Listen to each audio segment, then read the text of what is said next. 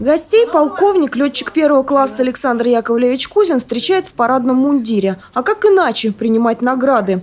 Памятные медали «75 лет битвы за Москву» достойны пять жителей областного центра. Александра Яковлевича лично поздравил мэр Владимир Шарыпов. Медаль памятная, 75 лет битвы под Москвой. Мы очень вами гордимся.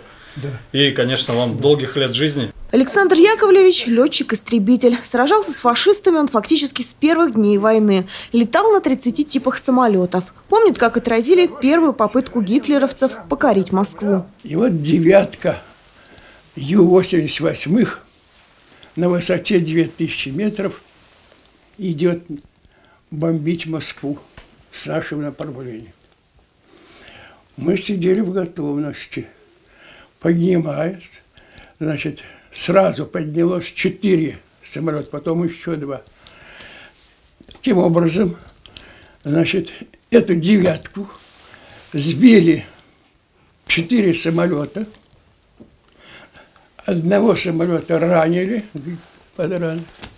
Остальные ушли и добили их, это в Черпухе стоял полк, добил. Таким образом, первый налет на Москву с нашего направления закончился для немцев очень скорбно. Возможность слышать такие рассказы из первых уст и общаться с ветеранами напрямую – вероятно, главное богатство, которое досталось современному поколению. Александр Яковлевич рассказал нам буквально за 15 минут основные э, свои ощущения и э, поделился памятью как раз о первом налете немецкой авиации на Москву с его направления. И, конечно, тут слушаешь и как будто смотришь действительно кино.